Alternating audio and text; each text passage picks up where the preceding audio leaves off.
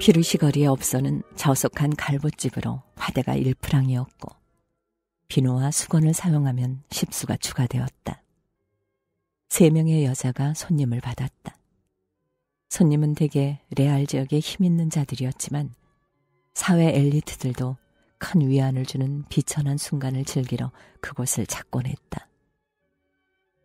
여자들 중 하나는 무릎까지 내려오는 검은 레이스 바지를 입었고 어마어마한 젖가슴을 드러내주는 검은 코르셋도 입었다. 다른 두 명의 사회 희생양은 초록색, 오렌지색, 노란색의 얇은 오건디 천으로 된 옷을 걸쳤는데 몸 전체를 가리지는 못했다. 모든 것이 배꼽에서 멈춰 전반적으로 검고 푸른 묘한 뉘앙스를 풍겼다. 질 나쁜 분가루 때문에 거친 피부가 그대로 드러난 새하얀 얼굴로 여자들은 피아노 앞에 앉은 연미복 차림의 신사를 어리둥절하게 쳐다보고 있었다.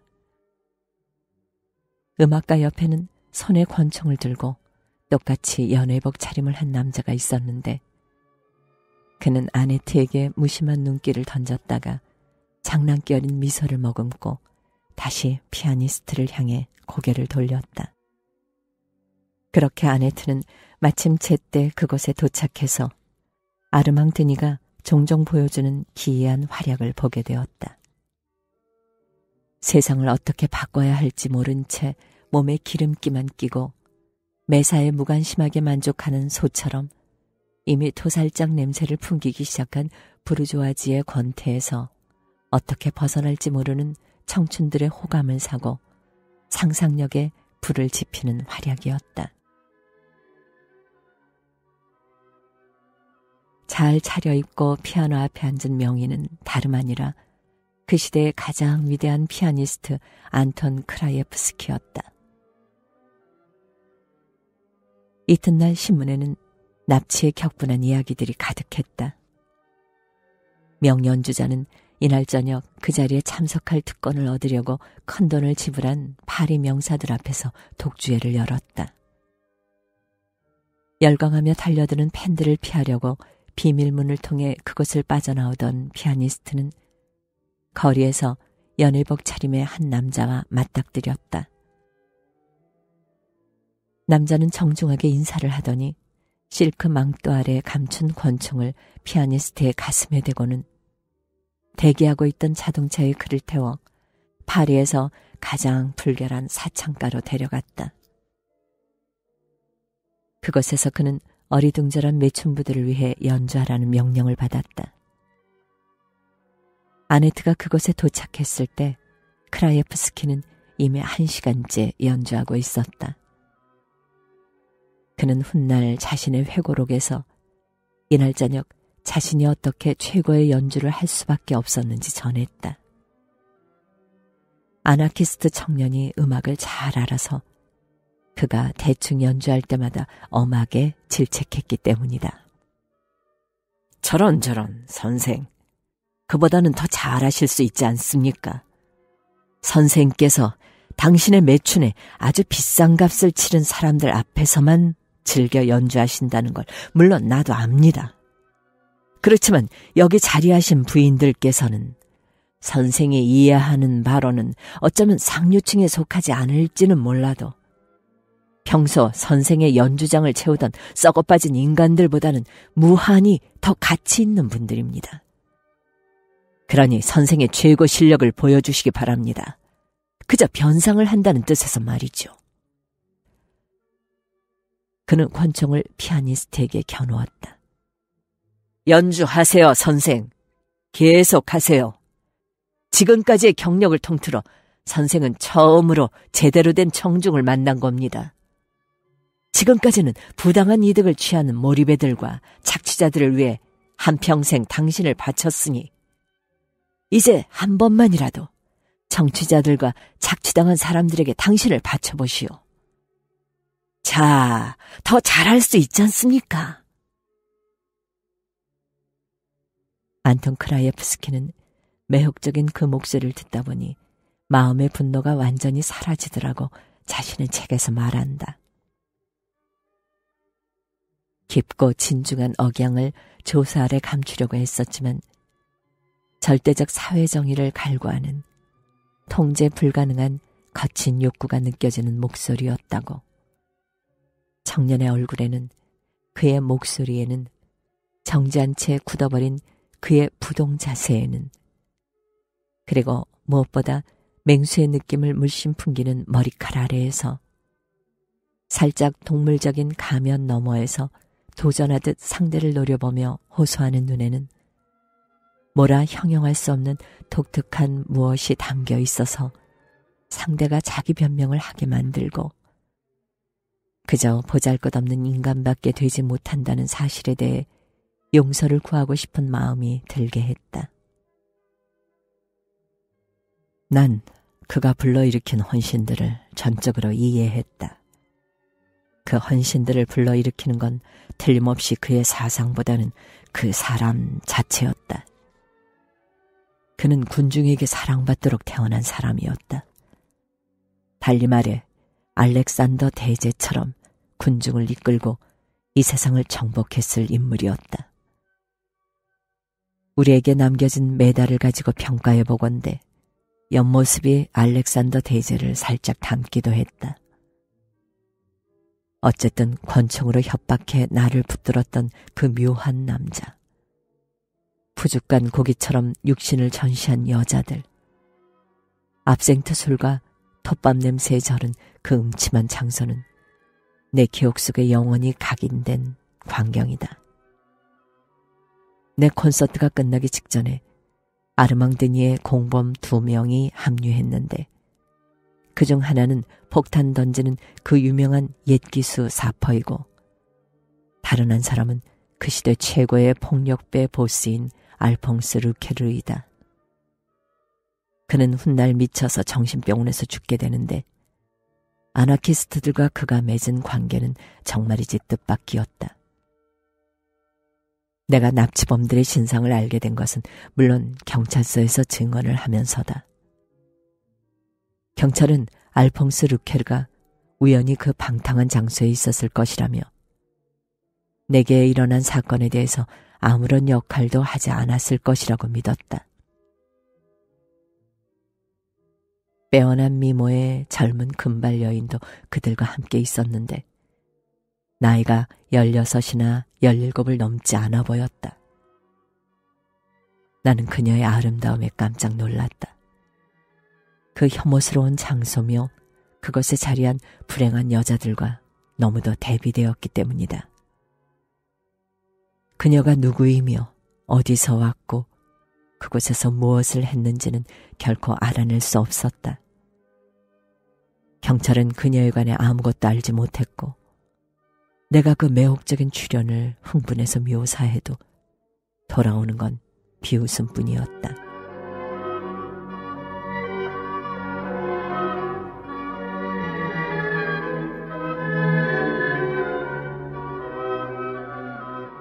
당시 크라예프스키는 경력의 끝에 이르러 있었는데 그 스스로도 고백했듯이 그날 저녁만큼 그가 연주에 몰입한 적이 없었다. 그렇게 나는 그 사내의 영혼 속에서 타오르는 이상의 경의를 표했다. 폴란드 음악가는 이렇게 쓰고는 장식음을 좋아하는 취향대로 레이디엘이 종종 그의 연주에서 아쉬운 점으로 여기던 취향대로 이렇게 덧붙였다. 범람하면 온 세상을 잿더미로 만들어버릴 우려가 있는 이상이었다. 라고. 이런 종류의 활약은 아르망드니의 경력에서 많이 찾아볼 수 있었다. 어쩌면 거기서 크로포트킨이 그에게 비난하던 부르조아적 낭만주의의 흔적을 보아야 하는지도 몰랐다. 하지만 레이디엘에게는 충격적이고 극단적인 것을 쫓는 이 취향이 그 시대의 새로운 선전 방향을 증언하는 것처럼 보였다. 20세기가 그 비밀을 발견하게 될 방향이었다. 새 시대에는 군중 소유가 모든 분야에서 유일한 목표가 될 터인데 그것은 사상의 힘만으로는 불가능했기에 극과 연출 감각, 마음과 상상과 생각을 사로잡는 온갖 매력을 갖춘 선동책 따위가 앞으로 유혹의 시도들이 반드시 갖추어야 할 무기였다. 프랑스는 늘 조숙했고 너무 앞서간 선구자였다는 점이 아르망 드니의 비극이었다. 이탈리아 오케스트라 주의자 세라피니의 모험은 젊은 이상주의자의 머리가 미리 생각해 두지 않고서 즉흥적으로 벌인 일이 아니라 확고한 활동 계획에 따른 것이었다. 존경받는 이 이탈리아 지휘자는 오페라로 가는 길에 납치되었고 청중은 저녁 내내 헛되이 그를 기다렸다. 그는 아르만과 펠리시엥 르상에게 이끌려 생마르텐 강가에 자리한 정신병원에 이르렀는데 그것은 빈민들과 추정뱅이들이 코를 골고 있거나 서로 이를 잡아주거나 너절한 침상에서 고함을 지르고 있었다. 거기서 마에스트로는 상상의 오케스트라를 지휘하라는 요청을 받았고 연로한 지휘자는 두 시간 동안 연회복 차림에 지휘봉을 손에 들고서 악몽이나 나올 법한 청중 앞에서 움직이는 꼭두각시로 변신했다. 청중은 박수갈채를 보내며 이 무언극을 매우 좋아했고 가련한 지휘자에게 숨 돌리고 겁이 얼린 얼굴에서 흐르는 땀을 닦을 시간조차 주지 않았다. 아르망티니에게는 음악과 시와 예술 전반에 대한 깊은 이데올로기적 증오가 있었다. 무엇보다 예술이 엘리트만을 위한 것이었기 때문이고 미를 추구하는 모든 것이 민중의 조건을 바꾸기 위한 노력에 합류하지 않아 민중에 대한 모욕처럼 보였기 때문이다. 알퐁스 루케르가 아르망드니에게 몇 마디 하자 아르망이 아네트에게 따라오라는 손짓을 했다. 그는 그녀를 쳐다보는 둥 마는 둥 했다. 한편 아네트는 레이디엘은 그 장면을 떠올리면서 빨라진 심장 박동과 갑자기 잠겨버린 목에서 그때 그녀를 사로잡았던 감동의 강도와 깊이를 다시 느꼈다. 지금은 그녀가 너무도 잘 알고 있는 전제적이고 강압적인 그의 기질이 처음으로 표출된 순간이었다. 아름다움은 세상과 존재와 사물의 아름다움은 언제나 그녀의 마음을 뒤흔들었는데 그럴 때면 덧없는 것에 대한 분노의 감정과 그것을 지속하고 영속하려는 욕구가 완고하면서도 절망적인 강렬한 소유 의지로 바뀌었다. 그녀는 아르망을 쳐다보면서 곧 그가 그녀를 멀리하고 그녀 곁을 떠나가리라는 생각에 마음속으로 그를 느낄 때마다 그녀가 경험한 격렬하고 절대적인 행복이 지속될 수 없으며 그러나 그 짧은 순간들이 그녀가 영원에 대해 알 수 있을 모든 것이리라는 생각에 단 한 번도 분노를 느끼지 않은 적이 없었다. 소유욕이 그녀 안에서 막 깨어났던 것이다. 온갖 굴종까지 미리 받아들이게 하는 방식으로. 그때까지만 해도 난 진짜 속물 부르주아였던 것 같아요.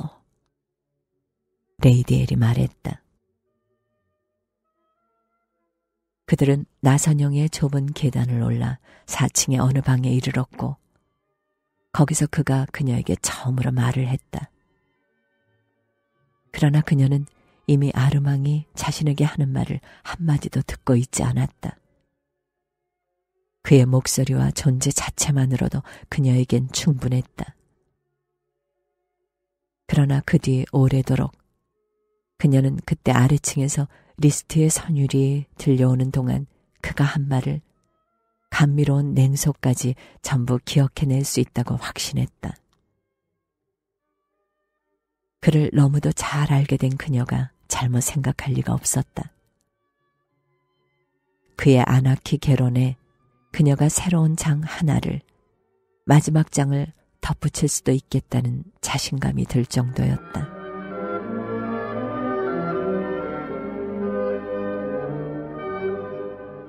예술은 시기상조요. 사회 현실과 단절된 미의 개념은 근본적으로 반동적이죠. 상처에 붕대를 감는 게 아니라 그것을 가리는 것이요. 우리 미술관들을 돌아보면 예술가의 거짓과 공모가 어느 지경까지 이를 수 있는지 볼 수 있어요. 경이로운 정물들, 근사한 과일들, 굴, 고기, 사냥한 고기 따위는 르브리에서 200m 떨어진 곳에서 굶주려 죽어가는 사람들에게 던지는 모멸이요. 민중이 자신들의 가난과 열망의 메아리를 발견할 수 있는 오페라란 존재하지 않아요. 우리네 시인들은 영혼을 얘기할 뿐, 빵 같은 것에서는 영감을 받지 못하죠. 교회는 위태롭습니다. 그래서 이 아편 흡연서를 확실히 계승하려고 박물관들을 서서히 준비하고 있는 겁니다. 이것은 그들이 함께 사는 동안 그가 즐겨 하던 얘기였고, 또한 레이디엘이 엄청난 애정을 갖고 예술작품을 수집하도록 만든 이유 중 하나였다. 더구나 예술품 수집은 도전이라기보다는 애정어린 냉소였다. 라파엘 한 점 더, 루벤스 한 점 더, 벨라스케스 한 점 더, 그레코 한 점 더. 사랑 문제에서는 작은 이득 같은 건 존재하지 않아서 그를 조금은 버려야 했기 때문이다. 그녀는 심지어 아르망을 길을 잘못 들어선 예술가로 예술만이 제공해 줄 수 있는 완벽성을 사회 현실에 요구한 길 잃은 예술가로 여겼다. 그가 기존 질서로 파괴하려 한 것은 공식 미술이 자유롭고 새로운 예술을 꿈꾸는 자들에게 불러일으키는 것과 동일한 혐오를 기존 질서가 불러일으켰기 때문이다. 아나키스트들은 어쩌면 이상주의에 야습하였다. 실망을 누차 맛보고 실패를 거듭하며 그들 중 일부는 자신들에게 저항하는 인간들을 완전히 소유하려고 시도하다가 또는 재능 결핍으로 아주 자연스레 파시즘에 이르게 되었을 것이다. 그런데 그 시절 그녀가 있었던 작은 방 안에는 그녀를 엄습해오는 듯한 강렬한 존재와 최면수를 거는 듯한 눈길밖에 존재하지 않았다. 레이데일은 말했다. 18세기였더라면 그 얼굴과 지성으로 그는 멋진 사기꾼이 되었을 테고 카글리오 스트로나 카사노바나 생제르맹보다 더 멀리 갔을 거예요. 불행히도 우리가 산 시절은 이성의 세기가 아니었죠. 그는 이상주의자였어요. 내가 이보다 더 잘못 걸려들 수는 없었던 거죠.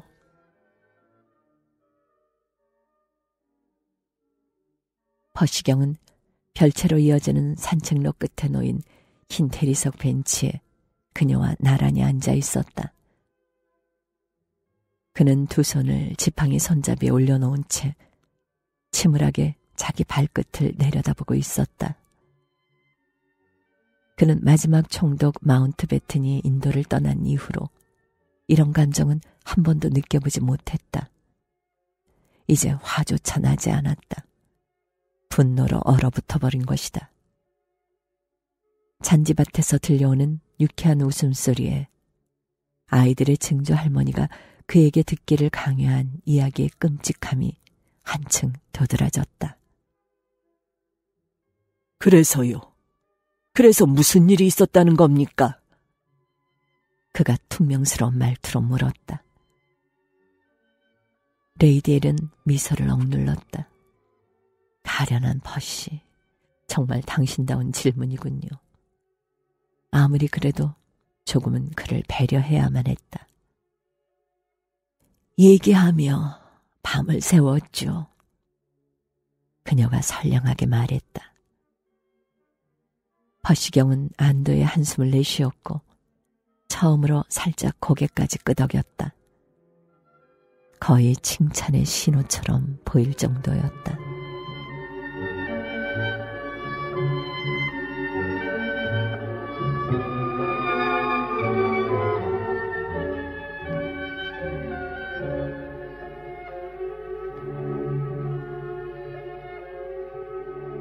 아네트가 어떤 유형의 남자를 마주하고 있는지 깨닫는 데에는 거의 시간이 걸리지 않았다. 그가 자유와 평등을 운운하며 같은 호흡 속에 정의와 살인을, 보편적 사랑과 파괴를, 인간의 존엄과 산책 중인 군중에 무차별적으로 던지는 폭탄을 뒤섞기 시작하자 그녀는 그 곡조와 노래를 알아보았다. 그 모든 것이 이미 들어본 것들이었다. 다만 같은 목소리가 아니었는데 그 차이는 실로 놀라웠다. 아버지가 언급했을 때 그녀를 화나게 만들었던 그 모든 이론이 남성적이고 단호한 존재의 따뜻한 목소리 실리자 고귀하고 아름다워 보였다. 그녀는 혁명가가 자신에게서 본 것을 즉각 이해했고 그가 상상하는 모습대로 보이려고 그가 원하는 모습으로 비치려고 여성의 능숙한 기교와 직관적인 지성을 총동원했다. 부패한 사회의 희생양으로 모욕당하고 분개해서 그와 함께 혁명에 가담하기만을 바라는 영혼으로 그와 그의 동료들의 투쟁을 함께하기만 바라는 영혼으로 보이려고 말이다. 아네트에게 아르망은 그때껏 본 중 가장 아름답고 삶에서 가장 욕망할 만한 존재였다. 이런 횡재를 놓쳐서는 안 될 일이었다. 그녀는 아르망에게 자신의 아버지가 아나키스트 사상을 위해 한평생을 바쳤다고 설명했다. 네, 그래요. 세탁 바구니 속에 선동 책자들을 담아 나르며 아버지를 돕기 시작했을 때 전 12살밖에 되지 않았죠. 그녀는 아주 진지하게 거짓말을 했고 자신의 역할에 참으로 쉽게 빠져들어 나중엔 스스로도 거의 믿게 되었다. 그래서 두 사람이 만나고 몇 주 뒤 아르망을 부댕 씨의 무덤에 데려간 날 그녀는 정말로 울었고 어쨌든 아버지를 정말로 잃었다는 느낌을 받았다. 아침 6시에 그들은 다시 아래층으로 내려왔다. 건반에 엎드린 채 잠이 든 크라이에프스키와 폭신한 초록색 천 소파에 앉아 무릎 위에 권총을 올려둔 채 눈을 감고 팔짱을 끼고 고개는 갸우뚱 기울인 기수가 보였다. 르케르는 안락 의자에서 자고 있었다. 여자들은 사라지고 없었다. 아르망이 피아니스트를 깨워 정중하게 그의 호텔로 데려다 주었다. 그것을 떠나기 전에 명희는 경이로운 눈으로 아네트를 바라보며 그녀에게 인사를 했다. 우아함과 아름다움을 그대로 구현하신 분 앞에서 연주하는 즐거움을 다시는 맛보지 못하겠죠. 크라예프스키가 그녀에게 말했다.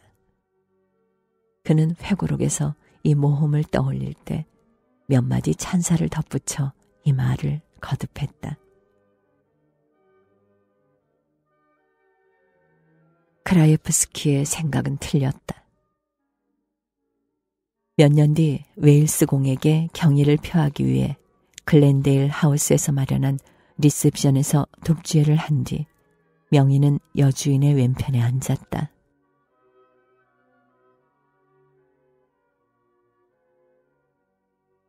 그는 그녀를 알아보지 못했다.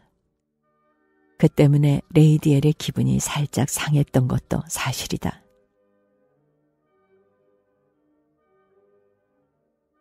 아르망드니는 해방운동이 그녀에게 기대하는 바를 설명하느라 시간을 거의 허비하지 않았다.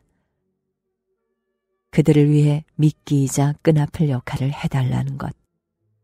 그들에게는 아름답고 똑똑하며 그들을 이끄는 이상에 헌신하는 여성만이 제공할 수 있는 도움과 공모가 필요했다.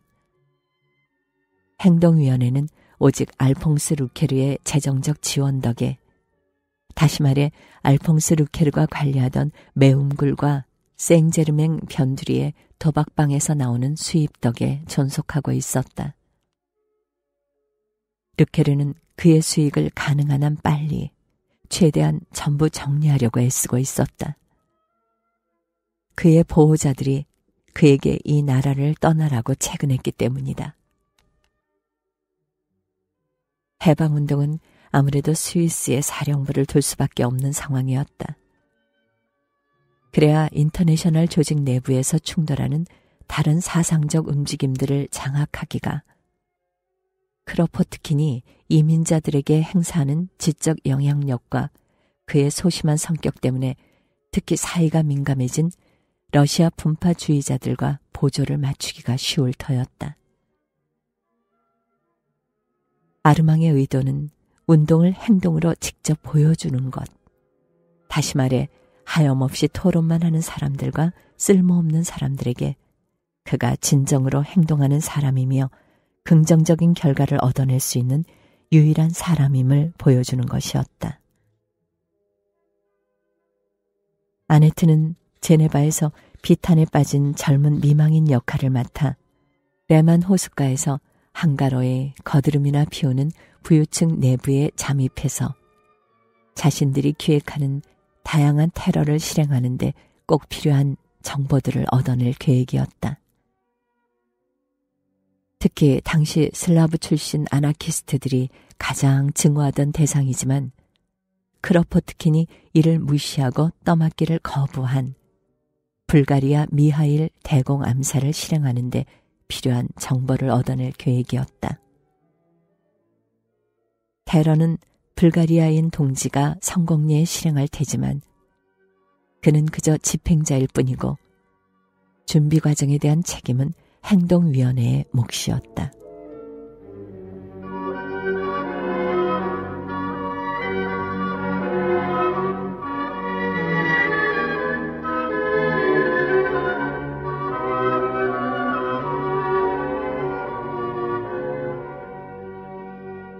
레이디엘은 눈썹을 살짝 축혀 올리며 뒤를 돌아다 보았다. 조금 전 퍼시 로다이너 경이 그녀 뒤에서 멈춰 섰는데 그가 막 내뱉은 욕설은 욕을 좀 하는 사람에겐 아무 모욕이 되지 못했으리라. 저런, 꽤 발전하셨네요. 그녀가 만족스레 말했다. 허튼 소리, 허튼 소리, 허튼 소리요. 계관 시인이 세 번이나 외쳤다. 다이엔, 당신이 불가리아 미하일 대공 암살에 연루되었다고 나더러 정말 믿으라는 겁니까? 당신도 잘 알다시피 그 사람은 우리네 메리 마운트 가문의 사촌이 아닙니까? 아무리 그래도 그렇지. 당신이 왕을 시역하는데 어떤 역할을 했다고 주장하려는 겁니까? 무슨 소리예요? 어떤 역할이라뇨? 모든 걸 했지요. 전부 말이에요.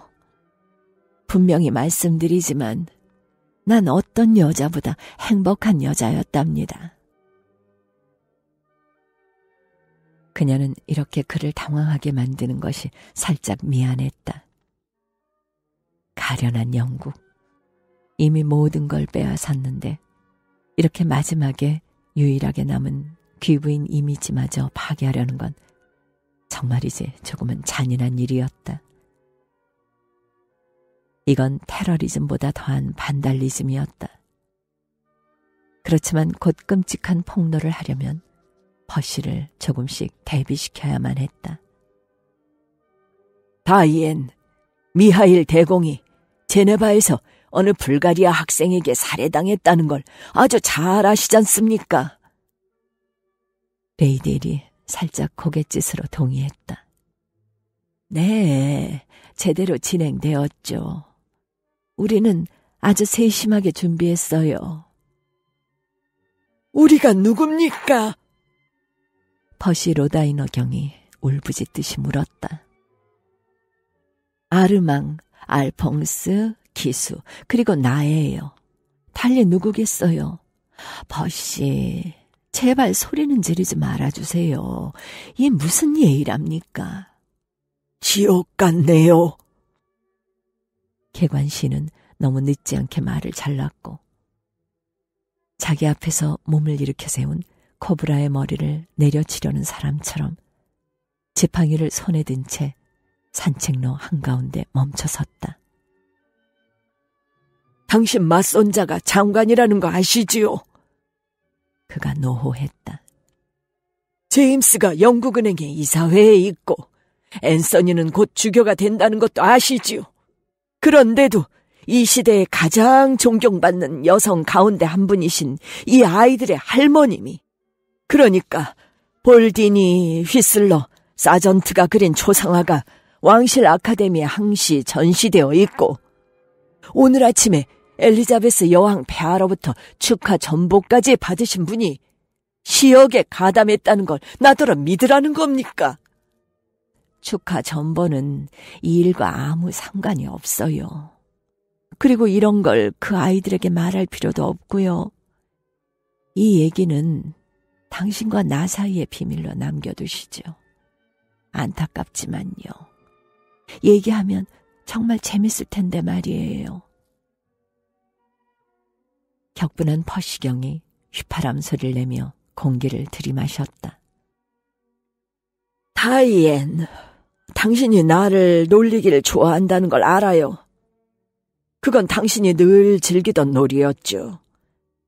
당신이 말을 타지 않게 된 뒤로는 특히 그랬죠. 그렇지만 제발 부탁이니 말을 돌리지 말고 대답해줘요. 메리 마운트 가문의 사촌. 당신도 익히 알다시피 우리 왕실 가문과 인척 관계인 그분을 살해하는 일에 당신이 가담했습니까? 물론이에요.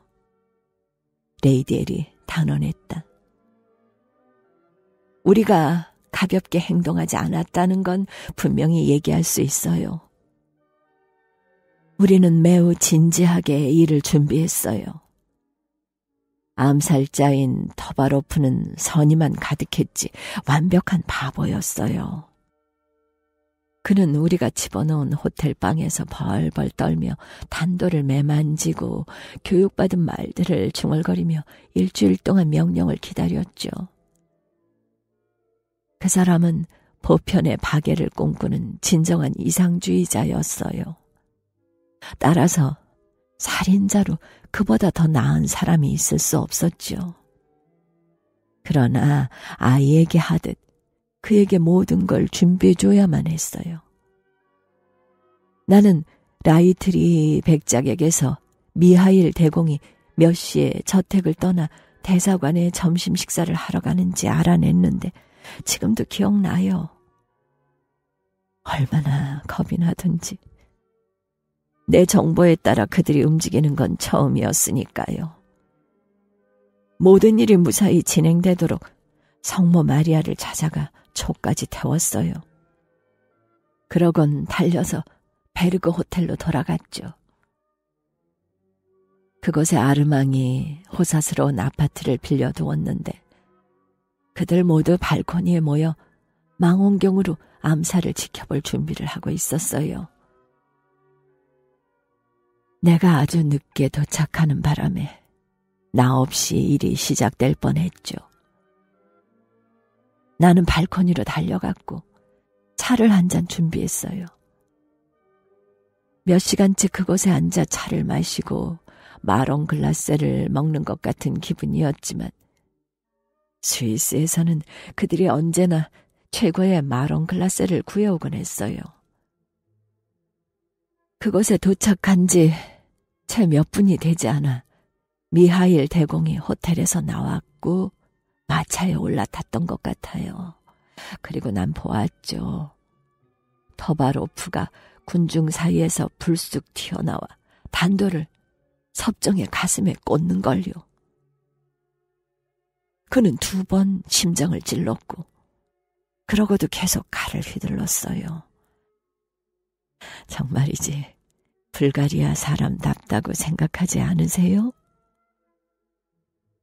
미아일이 그 나라에서 행동을 아주 잘못했다는 걸 말해야겠군요. 유대인 박해를 부추겼죠. 아니요, 아니요. 내 말이 틀렸어요. 유대인 박해는 유대인에게만 허용되었죠. 그는 농민들에게 채찍을 휘둘렀던 것 같아요. 그들이 굶어 죽어가고 있었기 때문이죠. 아니면 그 비슷한 하찮은 이유로 말이에요. 호위병 장교 중 하나가 그들은 모두 흰색 차림이었고 모자에도 흰색 깃털을 달고 있었어요. 결국 칼로 도바로프를 베었어요. 그러나 미아일은 이미 죽은 뒤였죠. 발코니에서 오페라 글라스를 보니 이 모든 것이 아주 비현실적으로 보였는데 마치 오페라 같았죠. 꼭 극장 귀빈석에 앉아 있는 느낌이 들었어요. 퍼시 로다이너 경이 갑자기 전혀 뜻밖의 행동을 했다. 이죽거리기 시작한 것이다. 레이디 L은 생각했다. 벌써 저러는 걸 보면 완전히 절망적이지만은 않아.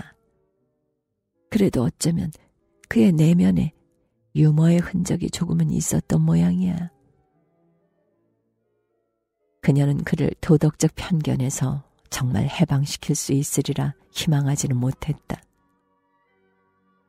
이 평범한 사람을 진정한 아나키스트로, 니힐리스트로 만드는 건 생각조차 할 수 없었다. 진짜 귀족만이 완전히 자기 자신을 뛰어넘을 수 있다. 하지만 어쨌든 약간의 발전은 있었다. 켄트의 불빛. 템스강에서 보모와 함께 잠자리채를 들고 보트놀이를 할 때가 떠오르는 단정하고 절제된 빛이 차분하게 서서히 미약해지면서 레이디 엘에게 번뜩이는 섬광이나 갑작스럽고 난폭한 어둠에 대한 향수를 불러일으켰다. 그녀는 자연에 던져진 이 모든 정숙한 베일이 끔찍이 싫었다. 영국의 풍토는 언제나 격정을 부드럽게 만들려고 애썼다. 멀리서 보면 세심하게 양을 조절한 듯한 빛을 받으며 밤나무 아래 선 두 사람은 산책로에서 인상주의 화가의 붓을 기다리고 있는 것처럼 보였다. 그녀는 인상주의 화가들을 진심으로 좋아한 적이 한 번도 없었다. 그들에게는 지나침이, 열정이 부족하다고 그녀는 생각했다. 르누 아르만이 때로 여성의 몸을 존중하지 않고 다룰 줄 알았다. 마땅히 그래야 했다. 퍼시가 마침내 이죽거리는 웃음을 멈췄다. 그러더니 침통한 목소리로 말했다. 어, 아주 재밌어요. 그렇지만 대단히 악취미시군요. 당신이 이 모든 이야기를 지어낸 건 단지 제가 메리마운트 가문에 얼마나 애착을 갖고 있는지 알기 때문인 것 같군요. 지난주에도 저는 그 사람들과 주말을 보냈죠. 레이데일이 다정하게 그의 팔을 붙들며 말했다. 가요, 버시. 이제 몇 발짝만 더 가면 됩니다. 당신은 눈만 뜨고 계세요.